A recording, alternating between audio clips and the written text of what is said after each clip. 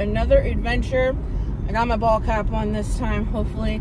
I can see the sun hitting me on the face. I might have to close my sunroof, which totally sucks because I love the sun. But the sun don't like me. I was talking to my mom about it because I do have prescription meds, the cream, like the stuff that you saw on my nose, um, that I do put on my face when stuff like that happens. And this consensus that everybody keeps telling me is that they think it's the medications that I'm on. I don't think it's my thyroid med because I've been on thyroid meds for a long time. And I'm the person who's always had crystal clear skin. I've never ever had any trouble like this ever in my life. It was like I turned 40 and everything changed. So I'm wearing a ball cap today, but it might come down to where I have to get, I do have one, but I need one a little bit better. A, you know, the big full floppy hat that goes, you know, it comes like down on your cheeks because it's like in my T's where I get real bad. I have a little bit left from yesterday, but not too bad. But anyways, enough about my face. I'm going to pick up mom today. Toot stayed home. Um, that mile and a half kind of did her in yesterday. She's a little beat. so mom just wants to go for a walk today. She don't want to like do a hike. So we're gonna go somewhere we've never been before, which is great. We're gonna go to um, the brick. Oh gosh, where are we going? The brick reservoir. Um, it's supposed to have like a beautiful walking path. I've never been there before. Supposedly it's supposed to be really beautiful. Um, it is spring, so everything isn't quite green yet, but um, everything is coming back to life. And then yesterday, Savannah and I were talking on the way home, were, she really loves to watch these YouTubers that do, um, I have to put my window up a little bit for you guys, that, that do all this like exploring stuff. And, um, she's really into it. So I came home. She looked up a few things. I came home and looked a whole bunch of bunch of things. I looked for abandoned places to explore in New Jersey, and oh my goodness, guys, the amount of places that you can go to explore in New Jersey. Like some of them are real creepy. Some of them say they're haunted. Some of them are just really cool. They have a lot of history behind them. There was a lot, believe it or not, in the Pine Barrens. So, which I've always wanted to go. I have said that since the moment we arrived here. I have to go visit the Pine Barrens. I just have this like little obsession about the Pine Barrens. Never been there, but I want to go. so I found these three abandoned silos in Toms River, which is I live in Brick. Toms River is like the next county over, so it's not far at all.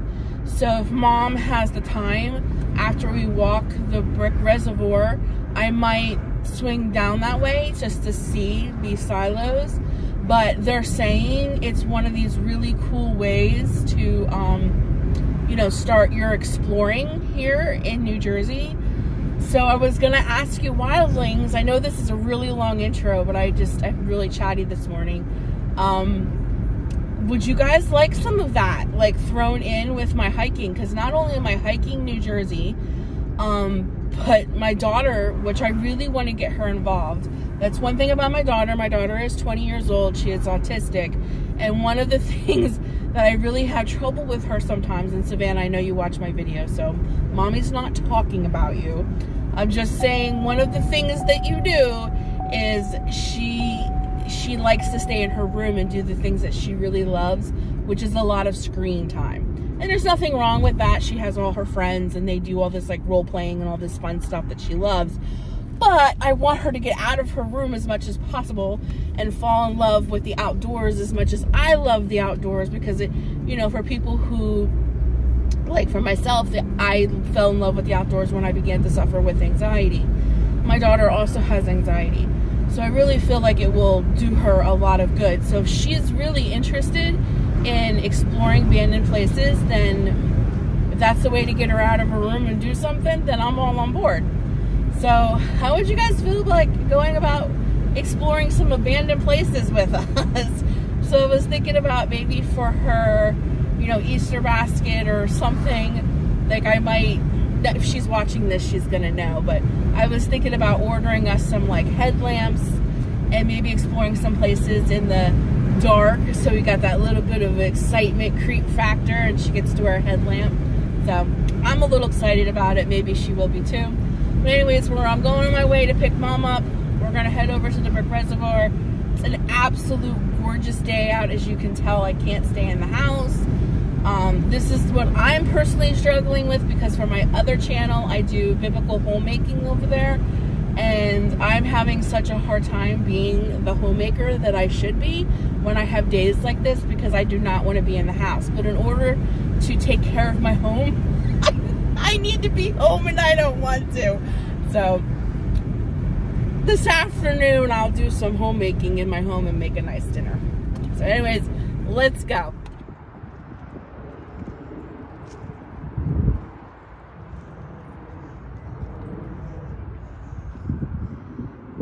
It's pretty. It's a beautiful day. Look how big it is.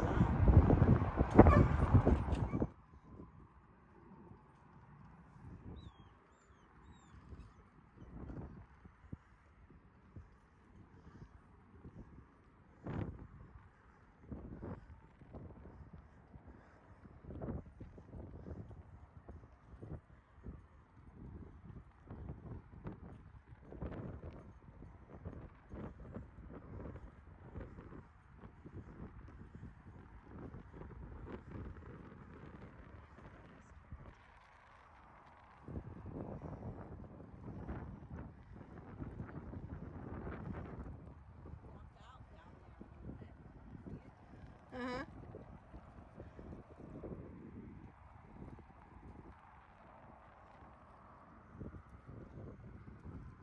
Yeah, like a deck.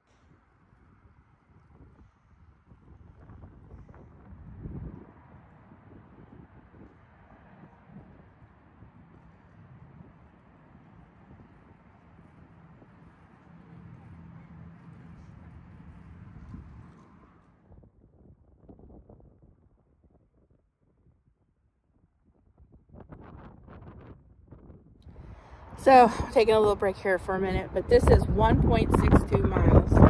And when you gauge it from this point of view, you're like, oh my god, a mile's huge. But when you're walking it, like in the woods and stuff, it does not feel this big. But when you see it like this, it looks massive. But anyways, we're here.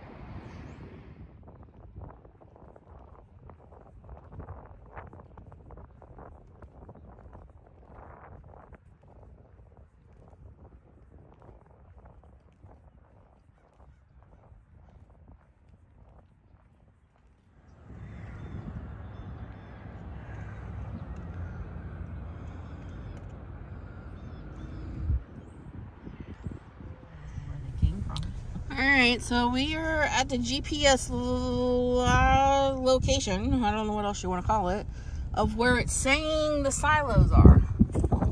But uh, we don't see them, and it doesn't tell you if it's left or right. It says it's a uh, hundred feet in where the the power lines are. Well, surely you could you would be able to see silos a hundred feet in, and I don't know if it's the left power lines or the right power lines. And it's too soft to take my car back there. You can tell cars do drive back there, but I'm afraid my car will get stuck because the sand is so soft. You can tell though people do take their cars back in there, but I have no idea what side they're on. 100 feet isn't too far, but you can walk 100 feet that way and find nothing. You can walk 100 feet this way and find nothing. I have no idea and we can't see them. So we drove all the way out here and I don't know what to do. Because I honestly, and you can't see them in the distance. Mm -mm. You can't see them at all. I have no idea which side of the road they're on. So this was kind of a bust. And there's no address post here either. No, there's no address, but the website does say it's by the power lines. And GPS, this is where they told us to stop. Yeah, look how tall they are. They're huge silos. Like they should be able to You should be able to see them. and it's only it's saying it's 100 feet from the road right? 100 feet from the road. You absolutely should be able to see them. But we're on first street. This is where the gps told us to stop. We're 100 meters from the road. oh 100 meters in. 100 meters is like 300 feet. Well maybe we wouldn't be able to see them but that that way though we should you know what i mean Yeah. this way has a little bit of a hill so maybe we can't see them up over the hill i have no idea And I think the only thing that can get back here is like a Jeep a jeep or a dirt or a bike dirt bike mm. yeah i don't a want dune buggy dune buggy because it's real soft. Well, that was a fail. So we'll go find something else to do. Look at the little midget. Run with her, Vanna. I don't know where she's gonna step. I can't step on her. Go, run.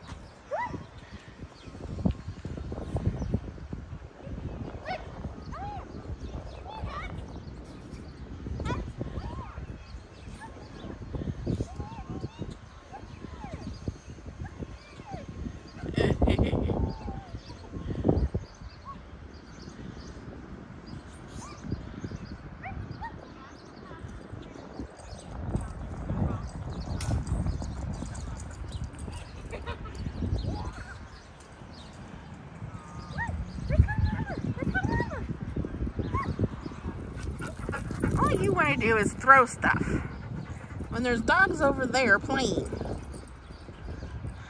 Go play.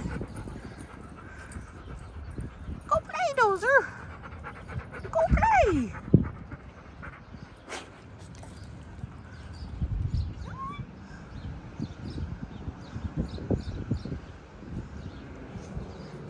What, you want to leave? You want to go in the little dog park?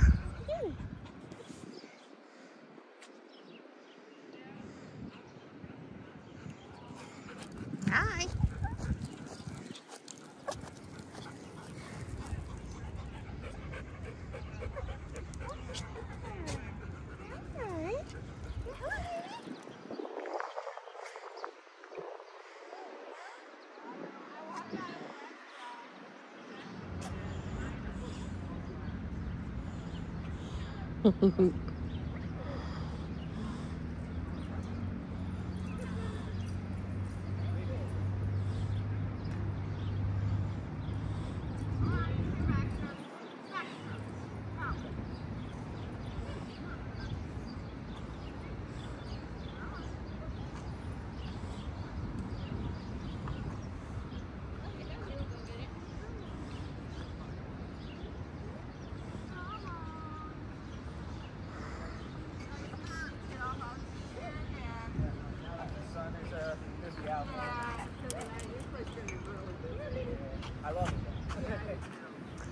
Just watch for big birds, Savannah. Stay close.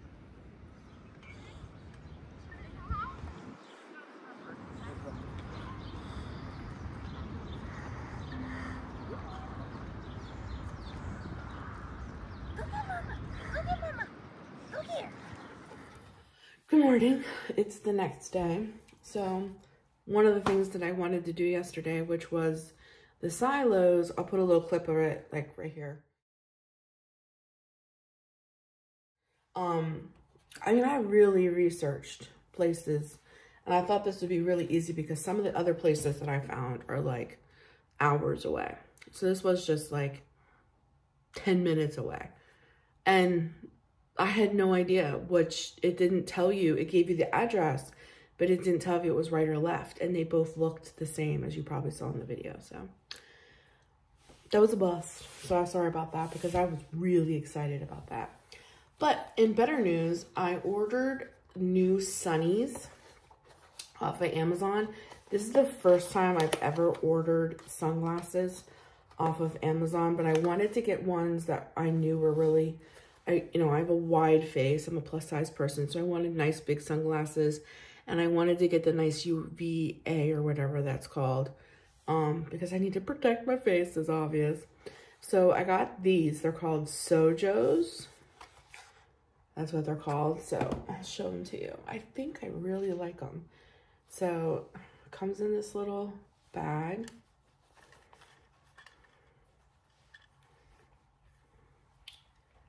So I think they're nice. I think for a plus size face, I think they do. And I like how they're darker on top and lighter on the bottom. So I think they look pretty good. So there's my new sunnies for the summer. Hopefully they don't get all scratched up like my other ones. If you all know, I am obsessed with sunglasses. I always, I have like 300 pairs now. I'm just kidding. I have like 15, 20 pairs of sunglasses. I really love sunglasses. These are the ones that I've been sporting a lot. And believe it or not, these are the ones I've been wearing a lot. I've had these ones for about over a year, believe it or not. I got these at the Dollar Tree. Yep. I got these sunglasses and they've lasted for over a year at the Dollar Tree. So I wear these ones a lot. But I wanted new sunnies. So that's the update for this morning. is that uh, I got new sunglasses for the summer. And I don't know what I'm going to get into today because right now it's a little chillier than it was yesterday. But when I took Dozer out just a little bit ago, like uh, 10 minutes ago, it was spitting rain. But I just checked the forecast. The forecast said it's supposed to be sunny and pretty. But it's, uh, maybe you guys can see. It's, can you see that? It's super, super foggy. And then in the fog is like that misty rain. So but the forecast says very sunny, so we'll see. We'll see what happens. So we'll see what we get into today.